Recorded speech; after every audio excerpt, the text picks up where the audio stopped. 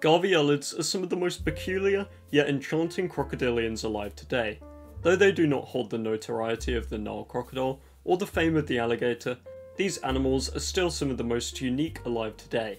Gavialidae belongs to one of the three superfamilies of crocodilians, that being Gavialoidae. This superfamily evolved around 70 million years ago, with modern gharials and false gharials diverging from one another around 38 million years ago, during the Eocene period. Now there are a lot of subspecies, a lot, stretching from Asia to Europe, they're basically everywhere. In this video, we will be covering the extant subfamilies of Gavialidae. These include Gavialinae and Tomistominae, with the two living species of these families being the gharial, Gavialis gangeticus, and the false gharial, Tomistoma schlegi.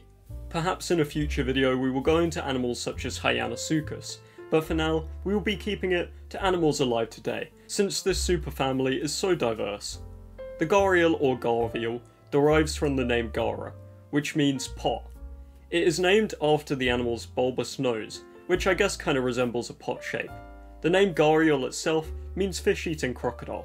Gavial is derived from the Hindi word gharial, which means crocodile. Its scientific name is Gavialis gangeticus, roughly meaning fish-eating crocodile of the Ganges. The gharial anatomy specialises them for water, with their webbed feet supporting locomotion in the depths. Their legs are extremely weak, with these animals not being able to high walk, so instead they belly slide along the ground, though they rarely come onto the ground only to bask in the sun or lay their eggs, with it never really leaving the beaches and banks to venture onto higher ground where you would probably find a mugger crocodile.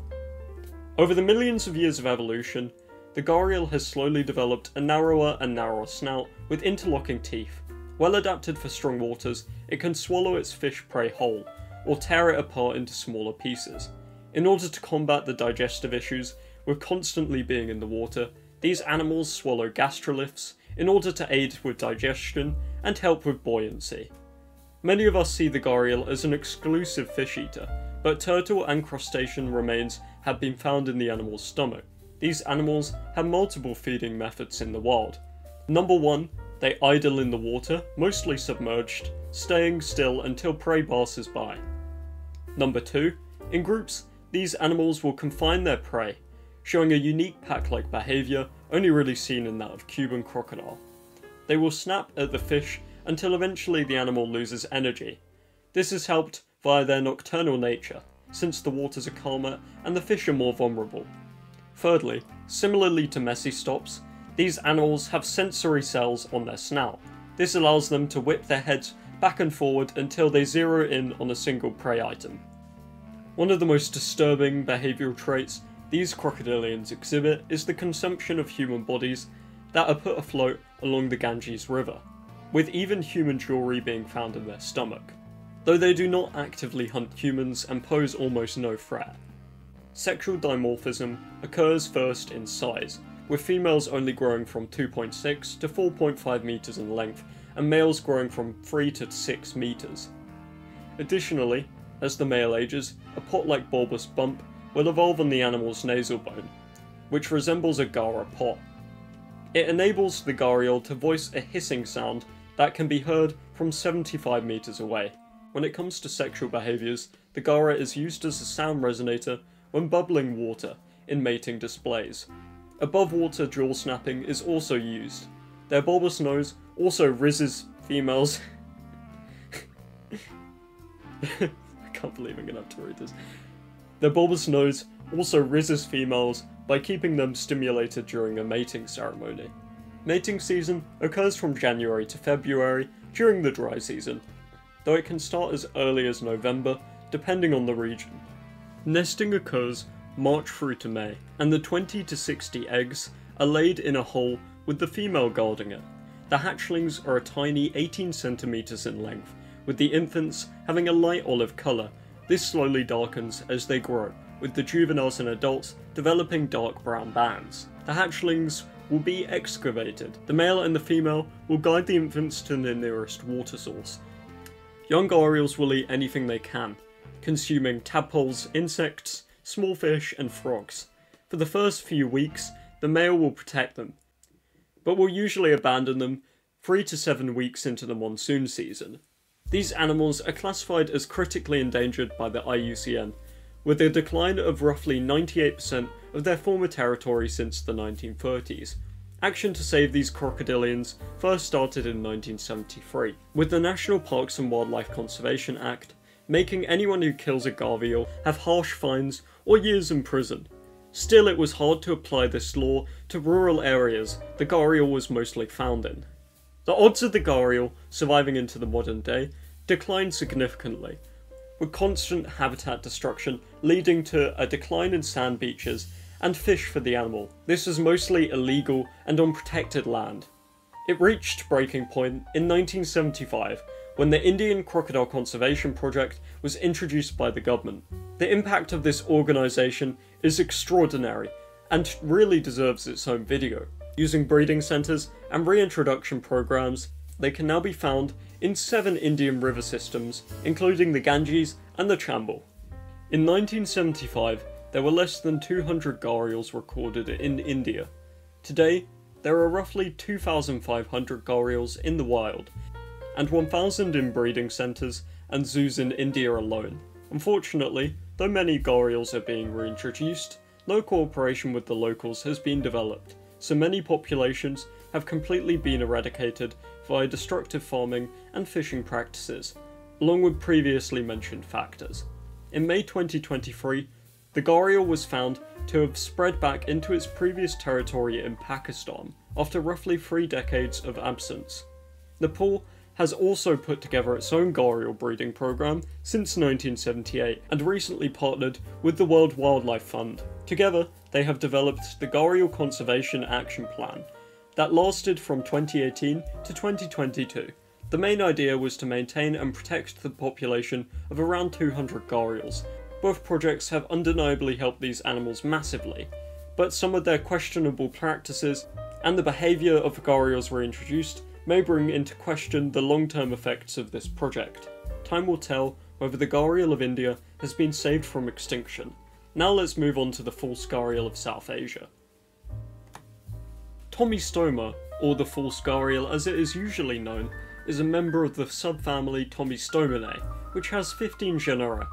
Only the false gharial is alive today. Tomistoma derives from the word tomos, meaning sharp, and stoma, meaning mouth. The false gharial has been recorded all over South Asia, currently being recognised to live in Malaysia and Indonesia.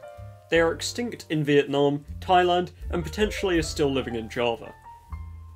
Indonesia and Malaysia may seem like a large range, but they are certainly extinct in some regions with very fractured populations. There is no specific answer on their population, with the IUCN estimating there are anywhere from 2,500 to 10,000 false gharials alive today. This animal may be able to exceed 16 feet in length. Females grow to around 4 metres, while males grow to around 5 metres. Some estimates put its maximum age at 40 to 60, while others put it a maximum of 80 years old.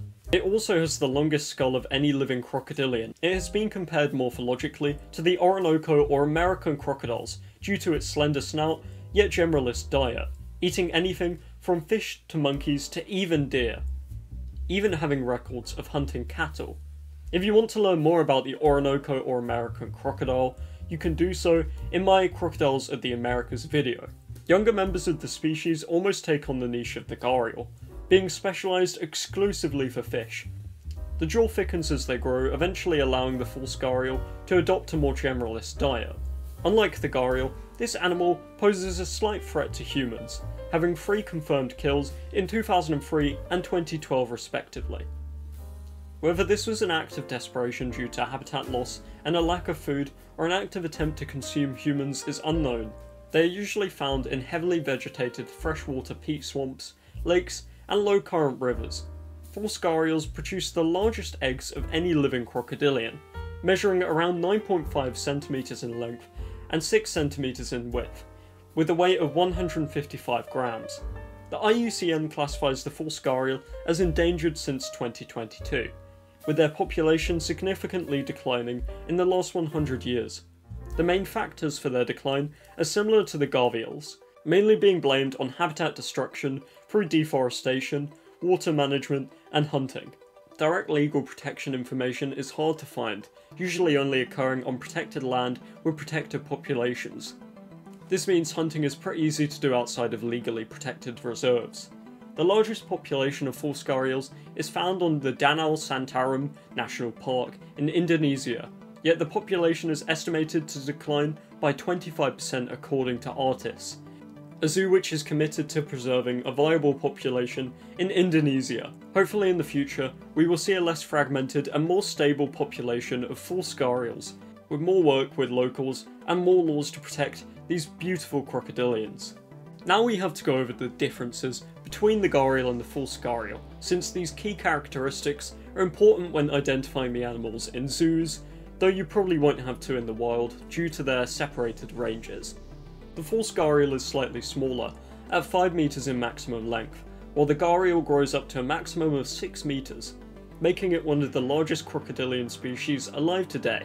Most of their other differences are in their skulls. For example, the gharial has a more triangular head, while the false gharial has a more rounded head. The false gharial's mouth is broader than gharial's, the snout also broadens considerably closer to the head, which is a significant distinction between the gharial and the false gharial. The gharial and the false gharial also have different teeth. The gharial's weaker jaw, but far more abundant 106 to 110 interlocking teeth, and more suited to an exclusively piscivorous diet. The false gharial's lesser teeth, of around 76 to 86, and stronger jaw allow a generalist diet of aquatic and non-aquatic prey.